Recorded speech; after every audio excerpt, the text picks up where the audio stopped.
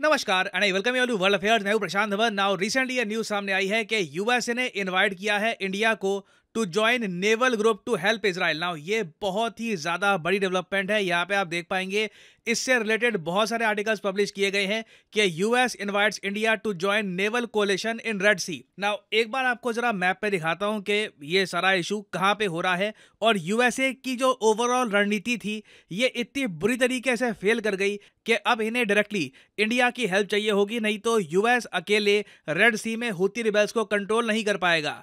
ना यहाँ पे आप देख पाओगे आपको दिख जाएगा यमन देश। यमन देश आपको बताओगा आधा यमन की सरकार के पास है। आधा यमन जो है ऑलमोस्ट आधा यमन, ये होती रिबल्स कंट्रोल करते हैं और ये लोग आज के समय लगातार अटैक कर रहे हैं इसराइल को यूएसए की शिप्स को और अब तो जो कार्गो शिप्स हैं, जो अरेबियन सी में जा रही हैं, जो इंडिया की तरफ़ जा रही हैं, वहाँ पर भी रिपोर्ट्स आई हैं कि इन शिप्स को अटैक किया गया है होती रिबल्स द्वारा। ना यूएस ये सब देखकर काफ़ी चिंतित है। आई एम श्योर यूएसए की मेन चिंता ये नहीं है। कि कार्गो शिप्स पे अटैक हो रहा है। यूएसए की मेन चिंता यह है कि हूती रिबेल्स इसराइल को अटैक करने की कोशिश कर रहे हैं। तो यूएसए ने हूती रिबेल से निपटने के लिए रेड सी में प्राइमरली सारा इशू यहाँ पर रेड सी का है। तो रेड सी में हूती रिबेल से निपटने के लिए यूएसए ने एक ऑपरेशन लॉन्च किया। ऑपरेशन का नाम है ऑपरेशन प्रोस्पेरिटी गार्डियन प्रोस्पेरिटी होता है समृद्धि। तो समृद्धि की रक्षा यूएस कह रहा है कि हम कर रहे हैं। बेसिकली जो ट्रेड रूट है यहाँ पर, उसको यूएस बचाने का दावा कर रहा था। और यूएस ने इस ऑपरेशन में क्लेम किया कि कई कंट्रीज़ अपनी नौसेना भेजने को तैयार हैं। मगर यूएसए का जो ये क्लेम था, ये बहुत हद तक खोखला साबित हुआ। यहाँ पे आप देख पाओगे यूएसए ने कहा कि UK Canada Netherlands Qatar Denmark Greece उसके अलावा नॉर्वे और इवन सेशल्स कई कंट्रीज़ हैं जो बिल्कुल तैयार हैं होती रिबल से लड़ने के लिए रेड सी के आसपास। मगर रियलिटी में क्या हुआ? एक एक करके कई कंट्रीज़ ने हाथ खड़े कर दिए और ये कहा कि हम देखिए, अपनी नौसेना नहीं भेजने वाले। ये बहुत ही ज़्यादा एक ऑब्वियस बात थी। जब यूएसए ने सबसे पहले ऑपरेशन प्रॉस्पेरिटी गार्डियन अनाउंस किया था, मैंने आपको तभी कह दिया था कि जिन कंट्रीज़ का दूर दूर से कोई रिलेशन नहीं है इंडियन ओशन से, वो अपनी नौसेना इतनी दूर क्यों भेजेंगे? तो यूएसए ने देखिए स्टार्टिंग में ही रणनीति इतनी ज़रा खराब बनाई थी कि कई कंट्रीज़ कई क्वाड कंट्रीज़ ने ही यूएसए को पहले हाँ कहकर लास्ट मोमेंट पर कह दिया कि हम अपनी नौसेना नहीं भेज पाएँगे। फॉर एग्ज़ाम्पल ऑस्ट्रेलिया, यहाँ पे आप देख पाओगे, ऑस्ट्रेलिया ने रिजेक्ट कर दी थी यूएसए की रिक्वेस्ट कि आप भी देखिए प्रॉस्पेरिटी गार्डियन के अंडर अपनी नौसेना भेजिए। सब कंट्रीज़ ने यह कहा कि हम आपको सपोर्ट कर रहे हैं मॉरल सपोर्ट हमारा आपके साथ है। हम बिल्कुल, आप लोग आगे बढ़िए, जो आपको यहाँ पर करना है बट हमको ये मत कहिए कि हम भी अपनी नौसेना यहाँ पर उतारे। खैर यूएस अकेला पड़ गया यहाँ पर। मगर यूएसए ने अकेले अपने दम पर भी हूती रिबेल्स को टारगेट करना स्टार्ट कर दिया।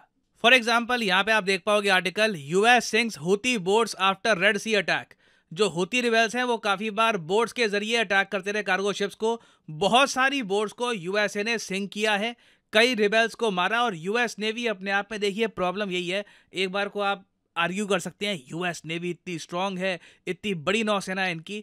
यूएसए को हेल्प की आवश्यकता क्यों बढ़ी देखिए यूएसए की नेवी बहुत ज़्यादा स्ट्रेच्ड है। यूएस नेवी ताइवान को भी संभाल रही है कि ताइवान पे अटैक ना हो जाए। जापान साउथ कोरिया की जो सिक्योरिटी है, वो भी यूएस नेवी पे आती है। यूएस नेवी, फिर सऊदी अरेबिया, यूएई में भी डिप्लॉयड है, फिर यूएस नेवी का ये भी काम है कि यूएसए को भी बचा के रखना है, फिर नेटो की भी रिस्पॉन्सिबिलिटीज़ हैं, यूक्रेन, रशिया वॉर में ऑफकोर्स यूएस नेवी की एक बड़ी फ्लीट रेडी है, क्योंकि कल को मान लीजिए रशिया अगर एक नेवल अटैक करता है किसी नेटो कंट्री पर तो यूएसए को जवाब देना होगा उस केस में।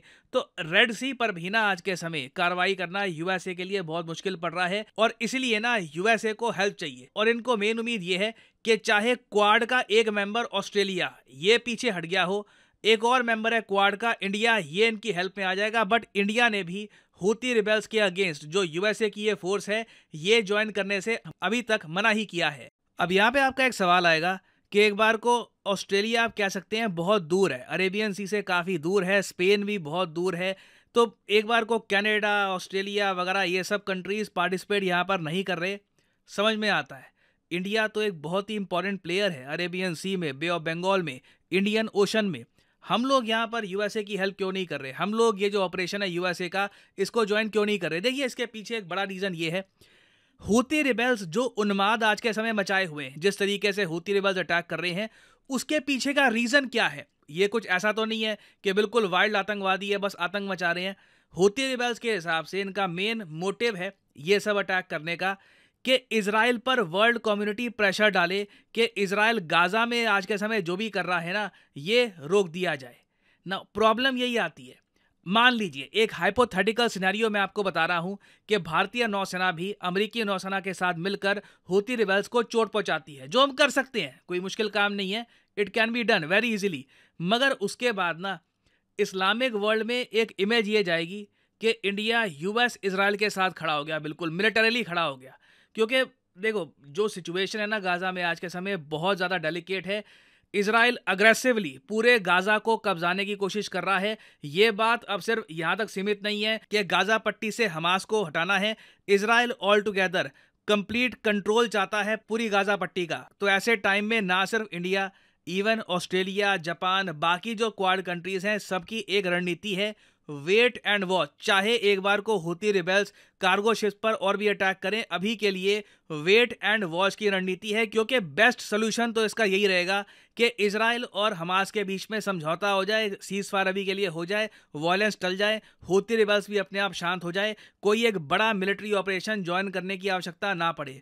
नहीं तो अगर ऐसा ही चलता रहा कई महीनों तक तो एक बार को मेरे हिसाब से इंडिया को एक बहुत ज़्यादा मुश्किल निर्णय लेना होगा। तो मैं यहाँ पे आपसे पूछना चाहूँगा कि क्या भारत को ये जो ऑपरेशन है, ये ज्वाइन करना चाहिए या फिर आप मानती हैं कि नहीं? ये ऑपरेशन अभी के लिए बहुत रिस्की है, इससे दूरी रहो। हमें पता नहीं है कि इवेंचुअली इसके जियो पोलिटिकल क्या होंगे। तो लिखेगा इसके बारे में कॉमेंट सेक्शन में।